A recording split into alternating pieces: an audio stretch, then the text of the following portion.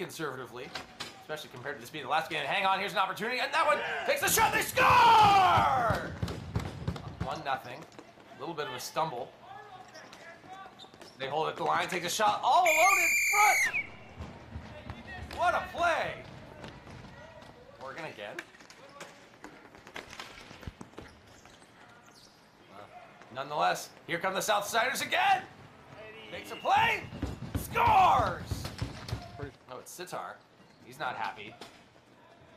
And here's another opportunity for the South Southsiders. Takes the shot, scores. He's getting pressed in there against by Cernus. Behind the net, and they score! One of the Still good, still good. The game for them. Held at the line by Urban.